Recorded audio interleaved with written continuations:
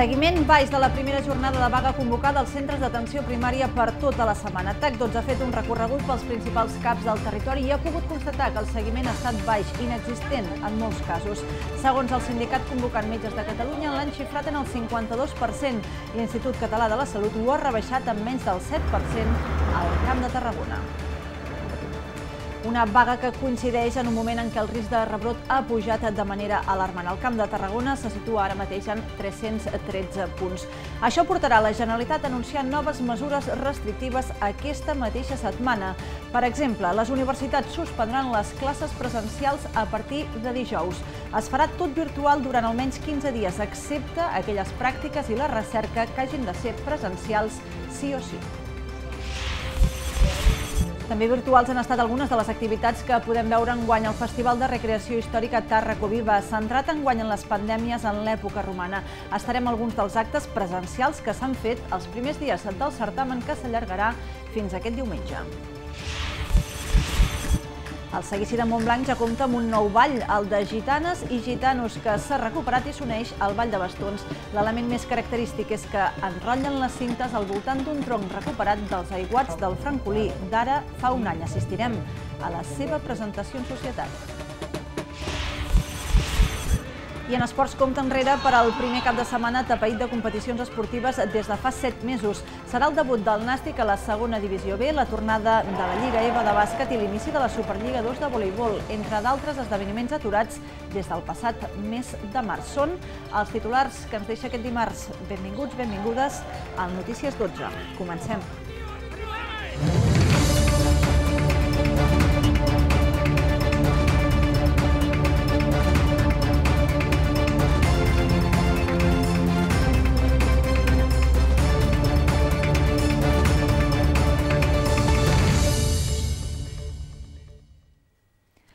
L'evolució del risc de rebrot continua pujant i ho fa sense aturador. El Camp de Tarragona és de 313 punts, 34 més que abans d'aquest llarg cap de setmana. Pintem-ho sobre el mapa amb les comarques del Camp de Tarragona. Totes, excepte l'Alt Camp, tenen un risc de rebrot molt alt, que recordem, es considera molt alt quan passa dels 200 punts. Veuen com l'Alt Camp està pintat en color groc perquè el risc és moderat amb poc més de 70 punts. On pitjor ara mateix estan les xifres és a la Conca de Barberà amb aquests 616 punts. És el doble de la que té a dia d'avui el Tarragonès, que veiem que tenen 330 punts de risc de rebrot.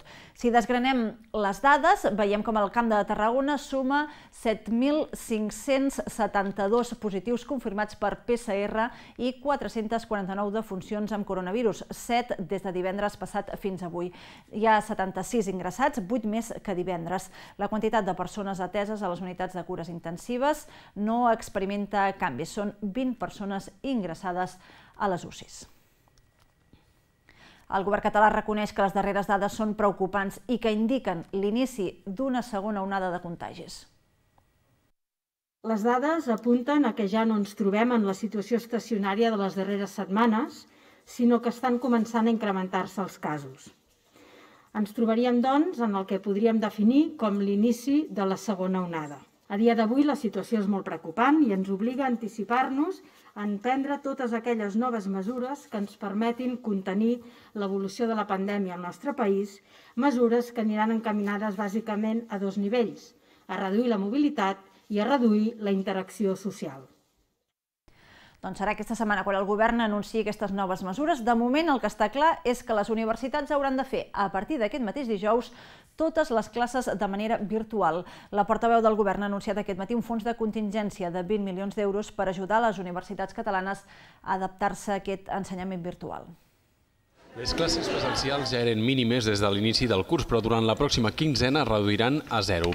Les universitats assumeixen les restriccions, però lamenten haver conegut l'anunci a través de la premsa. Ens va sobtar, com a tenir-ho que sentir per la premsa, no? Eh, eh, I, de fet, doncs, pensàvem que com que el, ja es veia que l'evolució anava menys, potser se'ns hagués pogut eh, convocar abans per poder haver organitzat una cosa més, programar-ho una mica millor, no? Per això demanen al govern un únic interlocutor. Les classes teòriques deixaran de fer-se a partir de dijous i durant els pròxims 15 dies, tot i que les pràctiques i l'activitat de recerca en queda el marge i podrà continuar sent presencial si és necessari. Ara bé, la mesura s'adopta no pas perquè es consideri la universitat com a focus de contagis, sinó per reduir la mobilitat. Nosaltres entenem perfectament que si les universitats hem de contribuir a minimitzar que els nostres estudiants eh, utilitzin el transport públic, que és on es pensa que també és un lloc on la gent està molt massificada i pot haver-hi transmissió, doncs nosaltres el que fem és simplement passar a la modalitat a distància que ja hi estaven preparats. La Universitat Rovira i Virgili assegura que l'adaptació de la pròxima quinzena serà fàcil perquè les facultats ja estan preparades per mantenir l'ensenyament a distància, com en les acaballes del darrer curs, i que això no ha de causar un impacte negatiu en l'alumnat. Crec que els nostres estudiants, aquesta generació, és la primera que tindrà que aprendre que ens hem d'estar adaptant contínuament als canvis que ens exigeix aquesta pandèmia i que hem de ser positius. 15 dies és el que se'ns està demanant de tancament. Per tant, entenem que si això es restringeix en aquests 15 dies, no l'impacte que pot tenir és pràcticament mínim. Després d'aquest període, la URB espera recuperar el 30% de la presencialitat i manté la voluntat d'augmentar aquest percentatge si la situació sanitària millora al llarg del curs. I un positiu de coronavirus entre el personal de l'Oficina d'Atenció al Públic dels aparcaments municipals de Tarragona obligat a tancar les dependències del carrer Unió durant els propers dies. El protocol i les mesures de contenció del virus obliguen a confinar el personal de l'oficina fins que s'hagin realitzat les proves PCR. Amb els resultats dels testos es decidirà la data de reobertura d'aquestes oficines. El servei se seguirà prestant per telèfon i per correu electrònic. L'horari d'atenció per a aquestes vies serà el mateix que el de l'oficina. I amb tot aquest panorama damunt la taula, els sindicats metges de Catalunya han convocat per tota aquesta setmana vaga als centres d'atenció primària per la situació de sobresaturació que estan vivint. Segons els convocants, en aquest primer dia d'aturada, la meitat dels metges cridats a la vaga l'ha fet. En canvi, l'ICS, l'Institut Català de la Salut, ha dit que el seguiment al Camp de Tarragona no ha arribat al 7% i ha estat una de les zones de Catalunya amb el seguiment més baix. TAC 12 ha passat aquest matí per diversos caps del territori. És la imatge de primera hora del matí al centre d'atenció primària de Bonavista. Cues a fora per ser atesos. En aquest cas fa mesos que es troben en aquesta situació i els veïns fars es concentren cada setmana per reclamar més personal. Normalmente esto es diario, o sea que no hace falta que sea hoy porque haya empezado la huelga, no, no. Esto es cada día. Cada día es una vergüenza. Aquí no puedes venir porque vienes. Si lo llamas por teléfono, no te lo cogen. Te llevas todo el día llamando por teléfono, aquí, aquí no te coges el teléfono a nadie. Si vienes, tienes que hacer estas colas. A ver, ¿qué hacemos aquí si llueve y cuando venga el frío? Que no, yo llevo aquí una hora y pico ya esperando. Gairebé 6.000 metges de tot Catalunya estan cridats a aquesta vaga des d'avui i fins divendres per reclamar millors condicions laborals. Aquí, però, al Cap de Bona Vista, el seguiment ha sigut baix. De fet, segons professionals d'aquest centre, aquí tothom ha vingut a treballar, el mateix que al Cap La Granja. En aquest cas, les afectacions que s'han trobat als usuaris són ja les habituals agreujades per la pandèmia, una vaga que a més coincideix amb l'inici de la vacunació de la grip. Esto está vacío de gente, sí que hay un par de personas aquí preguntar más o menos lo que yo estoy preguntando. Ahí tengo otro vecino que ha llamado cuatro o cinco veces y no le cogen el teléfono, y a mí tampoco. Simplemente es para que me den día y hora para hacer una analítica. Situacions similars al CAR Salou o al Cap de Valls, on segons direcció ningú ha secundat la vaga. A l'àrea bàsica de Montblanc només una persona de 15 s'ha sumat a l'aturada. TAC 12 ha fet un recorregut per diferents caps del territori i ha pogut comprovar que el seguiment de la vaga ha estat en general molt baix. Tot i això, segons el sindicat convocant Metges de Catalunya, el seguiment ha estat del 52% a la demarcació de Tarragona, és a dir, que la meitat dels metges convocats haurien fet vaga. Cap dels portaveus del sindicat, però, han pogut atendre TAC 12 en aquesta primera jornada de vaga, en què la majoria dels metges que l'han secundat s'han desplaçat a Barcelona per manifestar-se davant del Departament de Salut. Segons l'Institut Català de Salut, el seguiment a tot Catalunya no ha arribat al 20% i un dels territoris amb menys afectació ha estat precisament el Camp de Tarragona, amb només quasi el 7% de seguiment.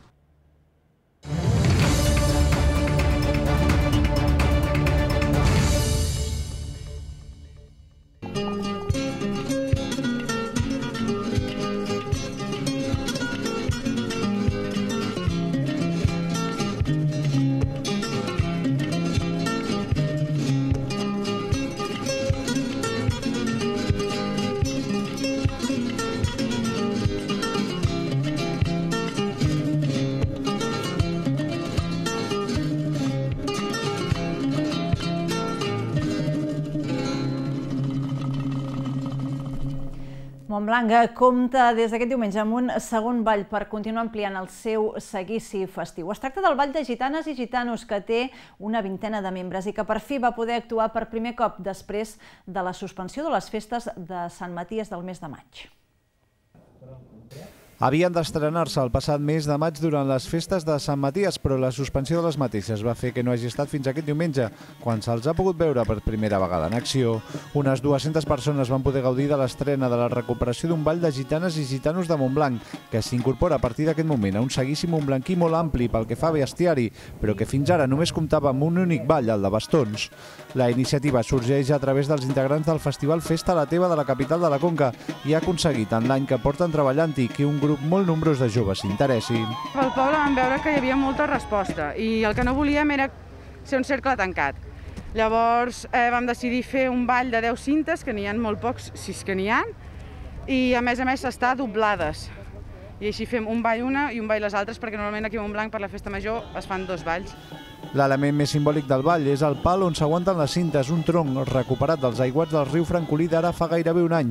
La presentació també va comptar amb l'actuació del Ball de Gitanes de la Selva del Camp, padrins del nou Ball Montblanquí. I a l'Espluga de Francolí, dissabte hi havia la primera actuació musical de la Fira de la Cervesa Artesana, que enguany ha adoptat un format alternatiu. Va ser una proposta de Dixi itinerant pels comerços que participen a la Fira amb l'objectiu de dinamitzar l'activitat al municipi. De fet, durant tot el mes d'octubre, els comerços ofereixen productes especials i cerveses artesanes. En paral·lel, hi haurà dos concerts més els dos pròxims divendres al Teatre del Casal.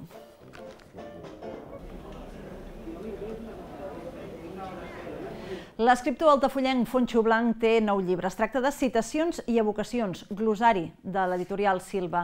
L'acte de presentació es va celebrar al mític restaurant Faristol i va comptar amb l'acompanyament de l'editor del llibre Manuel Rivera. Citacions i evocacions és un recull de paraules inspirat en el Diccionari per a ociosos de Joan Fuster. A partir d'una estructura aparentment formal i tancada, Blanc aprofundeix en el significat d'unes 60 paraules de l'àmbit psicològic, social, polític i cultural.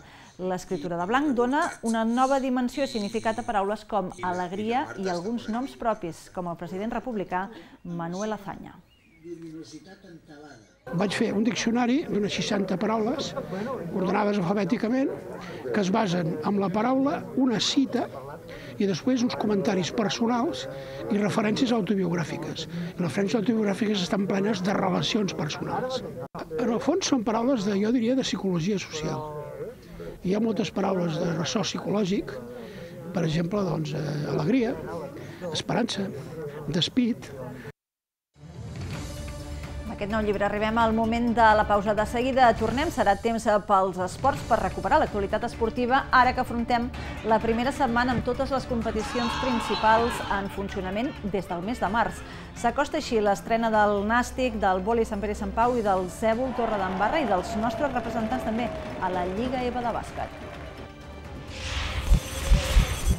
I a la segona part del Notícies 12, en temps de cultura, assistirem als primers actes de Tàrraco Viva, el festival de recreació històrica que enguany se centra en les pandèmies a l'època romana.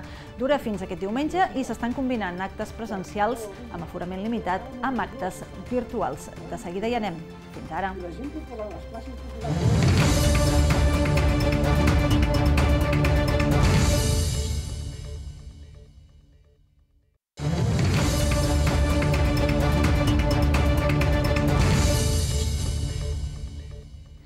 Algunes competicions territorials ja han començat, però les principals ho faran aquest cap de setmana. Serà el primer cop en set mesos que recuperem la rutina esportiva marcada, això sí, pels dubtes i les restriccions arran de la pandèmia. Torna el Nàstic i torna la Lliga EVA.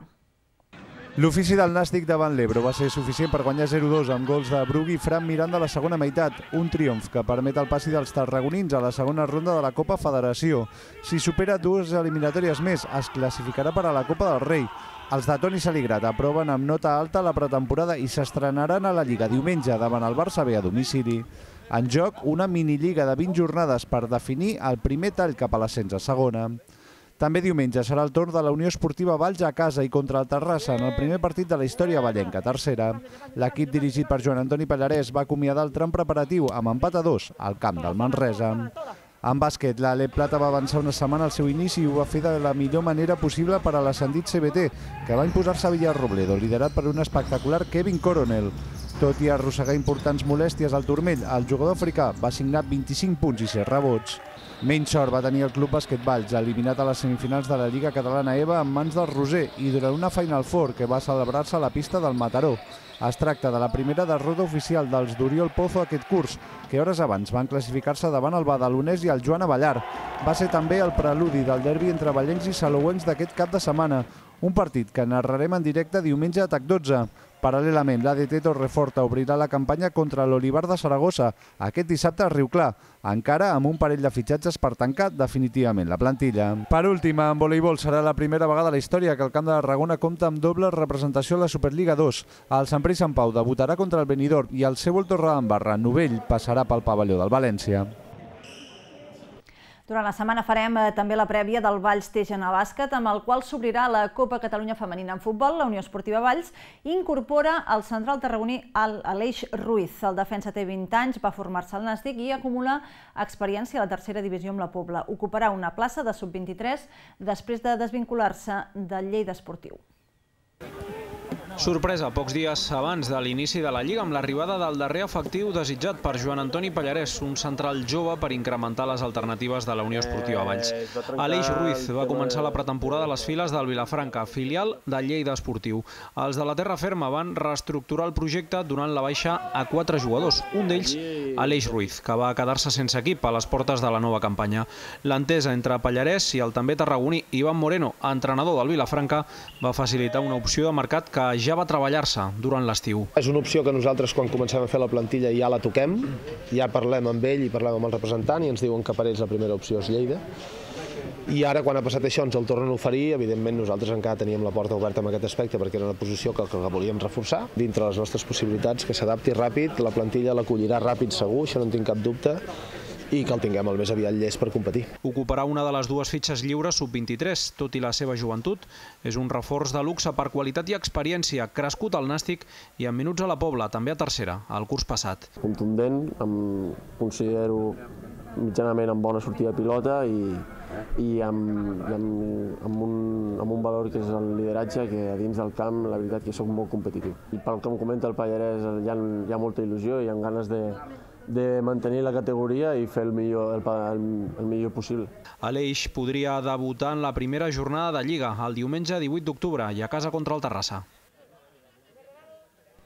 El total d'inscripcions va limitar-se a les 250 per motius de seguretat, tot i que la pandèmia no va evitar la celebració d'un nou triatló a Altafulla.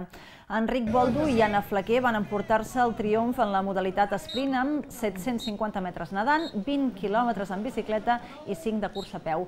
Pep Tatxer i Olga Fernández van ser els millors de la supersprint, proposta que divideix a la meitat les distàncies. El triatló puntua per al circuit conegut com a Just Tri Series. És l'únic dels cinc existents que no s'ha cancel·lat i es produeix poc abans del tancament de la temporada de triatlons.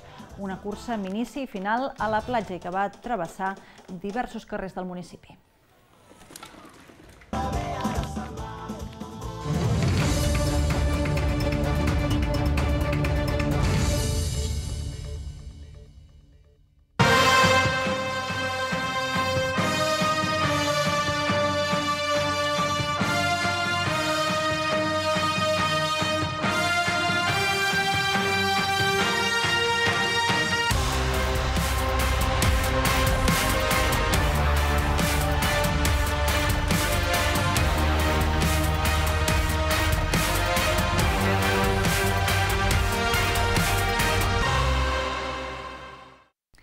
Tàrraco Viva, el festival de divulgació històrica de l'època romana, ha superat el primer cap de setmana combinant els actes presencials i virtuals. Les lliçons d'història d'aquests primers dies han estat lligades a les malalties i a les pandèmies de l'època romana. Els organitzadors estan satisfets per l'acollida, però lamenten que molta gent s'hagi quedat sense entrada a causa de les actuals restriccions sanitàries. Les pandèmies són un dels fils conductors de l'edició d'enguany del Festival Tarraco Viva. L'acte inaugural va ser un debat al voltant de les classes mitjanes i populars d'aquella època per conèixer com s'ho feien per sobreviure en un món ple d'incerteses, malalties o abús de poder constant, entre d'altres. Malgrat tot, però, aquesta part de la població va ser capaç de tirar endavant amb positivitat. Un carpe diem que els organitzadors del festival volen que s'inculqui també ara. Amb els temps actuals de pandèmia asseguren que ens pot fer servir per repensar repensar-nos com a societat. Els primers actes presencials del festival han tingut bona assistència de públic. Des de l'organització lamenten que molta gent s'hagi quedat sense entrada a causa de les restriccions sanitàries actuals. Han quedat molta gent fora, però, per, per temes de seguretat han pogut limitar. Han fet una pinzellada, vull dir, nosaltres aquest, aquest terracó és una miqueta especial, no? I és miqueta l'únic que volem fer és miqueta donar-li continuïtat al festival i més és la continuïtat a la vida també, perquè també no podem parar de tot pel tema del Covid. I després també, bàsicament, el que fem és, en tot el que fem, animar molt a la gent de saber dir-los a la gent que, que les pandèmies han hagut sempre, tot, tot, tota la història han tingut pandèmies i sempre se n'han sortit. No? Un any més, Tarraco Viva es pot viure en diversos indrets en passat romà del territori. És el cas d'Altafulla. La pallissa de l'era del Senyor va ser l'escenari d'una recreació històrica a càrrec de l'associació Projecte Fènix. Els assistents van poder conèixer, per exemple, com la pesta podia durar 15 anys i matar 5.000 ciutadans romans en una sola jornada. També s'han pogut viure per primera vegada alguns dels actes de manera virtual. L'edició d'enguany anirà combinant els dos formats per adaptar-se a l'actual situació. És el cas dels gladiadors, una de les temàtiques que més agrada. Aquest any la gent pot descobrir el seu món a través d'uns vídeos de divulgació que es poden trobar a les xarxes socials. El curtmetratge Cocodrilo, dirigit per Jorge Iudice, que es va poder veure aquí a TAC 12 dissabte a la nit, ha estat el gran guanyador de la cinquena edició del Festival de Curtmetratge sobre Salut Mental, el Psicur, que va entregar els seus premis aquest diumenge a Tarragona. Cocodrilo s'ha endut dos dels principals guardons del certamen, el de millor curtmetratge de ficció i el Premi Especial del Públic. L'altre triomfador d'aquesta edició ha estat Otra forma de caminar, de Laura Torrijos, que s'ha endut el premi com a millor curtmetratge documental. Per últim, Antinatural ha rebut el primer premi en la categoria de centres educatius. En total s'han presentat a concurs una cinquantena d'obres. Eh, res, volia agrair l'organització del festival doncs amb l'entrega de premis d'aquest festival, del Festival Sicur, arribem al final del Notícies 12, moment per repassar el més destacat. Els hem explicat el seguiment baix de la primera jornada de vaga convocada als centres d'atenció primària per tota la setmana. TAC 12 ha fet un recorregut pels principals CAPs del territori i ha pogut constatar que el seguiment ha estat baix, inexistent en molts casos. Segons el sindicat convocant, Metges de Catalunya l'ha xifrat en el 52%. L'Institut Català de la Salut ho ha rebaixat en menys del 7% al Camp de Tarragona. Una vaga que coincideix en un moment en què el risc de rebrot ha pujat de manera alarmant i el Camp de Tarragona se situa en 313 punts. Això portarà la Generalitat a anunciar noves mesures restrictives aquesta mateixa setmana. De moment, les universitats suspendran les classes presencials a partir de dijous. Es farà tot virtual durant almenys 15 dies, excepte aquelles pràctiques i la recerca que hagin de ser presencials sí o sí.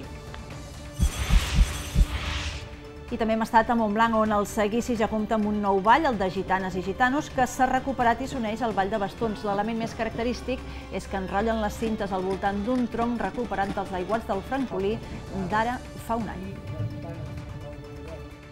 I avui acabem amb una altra proposta cultural, en aquest cas la que podem veure a Valls, al Museu de Valls, que incorporarà al seu fons museogràfic obres del pintor Gonzalo Lindin.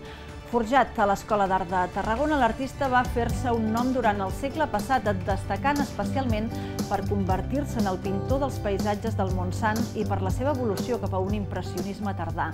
El museu rebrà un parell d'obres donades per la família de l'artista mort a finals del segle passat. De forma paral·lela a aquesta donació, el museu exposa fins al 29 de novembre un ampli repàs de l'obra de l'artista. Nosaltres ho deixem aquí. Que acabin de passar un molt bon dimarts. Fins demà. comercial.